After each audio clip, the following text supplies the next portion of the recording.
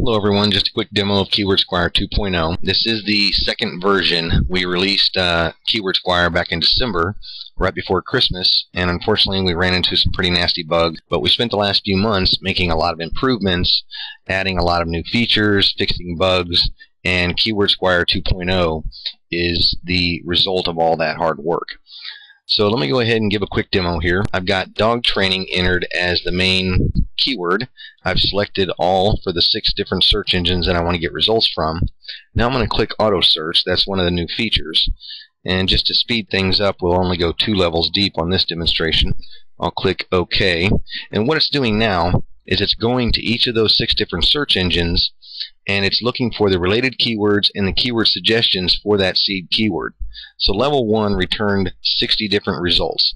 These are all uh, unique results. It filters out the duplicates automatically. And now for level 2, it's taking those 60 keywords and going through the same process. Goes to each of those six different search engines, finds the related keywords and the keyword suggestions, compiles them all, filters out the duplicates, and bring back the results to you. Now I'm going to say that we're probably going to be somewhere above 16, maybe 1700 keywords because it compounds fairly quickly. So, okay, 1628. And now what it's doing, you see it says updating. Now it's going to Google AdWords and it's going to bring back all of the search data, the CPC, the competition, so on and so forth. Now if you can look over here, we've added KWOCI, Keyword Online Commercial Intent. So once all of this data fills in, Keyword Squire has a built-in formula that will compute online uh, commercial intent. Now it involves most of this data and it's a um, fairly complicated formula. So instead of displaying a number like some of the other keyword tools do to where you're not really sure you know what that number means if it's good or bad we've just put high medium and low to kind of take the guesswork out on your part. So while it's finishing up here let me talk about just a couple of the other features. If you can see here, we can search five levels deep. So if we got 1,628 keywords for two levels, uh, you can imagine what will happen when you go three, four, five levels deep. Uh, it'll easily return, you know, 40, 50, 60,000 keywords. And I've got an example a little later down on the sales page that you'll see with some staggering numbers. And uh, you can check that out later. So, okay, now we have filled in all of the AdWords data and another feature that we have here is we can filter. You can just type in dog training and with a comma and it will take out all of the keywords that don't have dog training in the keyword phrase. You could also negative keyword search with a, a minus symbol then the keyword and comma and it will only take out those keywords that have that in the phrase. So if you want most of your keywords, but you happen to notice a couple that are a little far-fetched or that you don't want, then you just type that in and takes all those out. Now we can do a couple different types of filtering also. We can filter by local and global search count. Just enter the number here, choose which one you want, and it filters out everything that doesn't meet that requirement.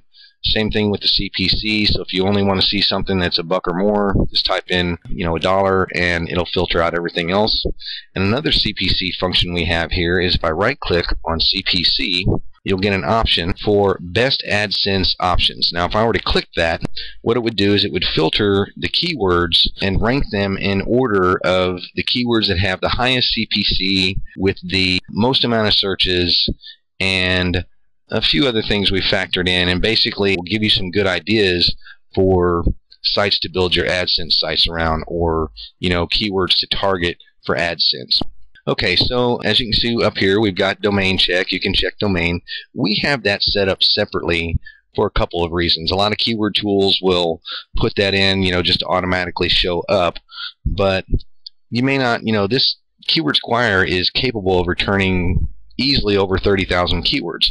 A lot of those you're not going to want to even look for domains for. So once you get your filtering down, you know, to a reasonable amount of of uh, keywords that you're really interested in looking at, then you can check for the domains, and, and we think that's a lot better than wasting the time to check for you know all 30,000 all at once. You can filter and sort, or rather, you can sort by any of the different tabs that you see up here And in the next video, I will show you some of the more advanced features. If I go ahead and right click here in the main area, you'll see where it says Analyze Competition. We've got a keyword competition analyzation app in here. We've got add keywords. Basically what that means is that uh, if you were searching these levels individually versus the auto search, after level 1 completes, you could add three additional keywords. So basically you would be searching four seed keywords for level 2 and beyond. So uh, that's a nice little feature. We got retry search volume in case you you notice one you'd think maybe you know there might have been a problem with the proxy or something like that. Uh, then you can retry individual keyword for search volumes. Of course, you can ex export everything to Excel. And then you can also export everything to a text file. Now this option is actually pretty nice. Uh, it's a good time saver. When you're building your website, a lot of times you'll have to list your keywords in different places for SEO purposes and they want you to list it keyword comma keyword 2 comma keyword 3 comma so on and so forth. With this option here select the keywords that you want click export to text file and it will save that text file to your desktop with the keywords already in order with commas between them for you so that's a nice little time saver and then the last two options we have here are some of our more advanced features. We have find related content and find related products.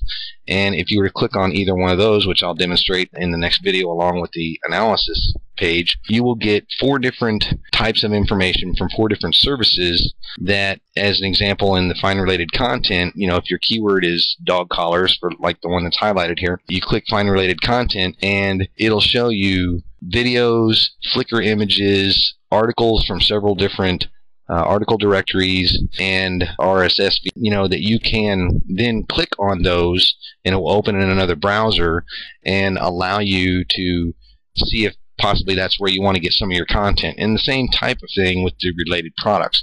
Four different uh, sources. We've got uh, OfferVault, eBay, Amazon, and ClickBank in there. So, you know, as you're building your affiliate sites or, you know, just whatever sites you're building, you're want, wanting to look for uh, related products to promote along with your keyword, that'll help you tremendously finding those. So, and then once again, you can just click on the links that it shows and it'll open in a separate browser. And, you know, if you're not familiar with where that particular product is as far as its um, affiliate program. You'll know by the heading. You can check it out and you know see if it's something you want to promote. Okay, I'll see you on the next video.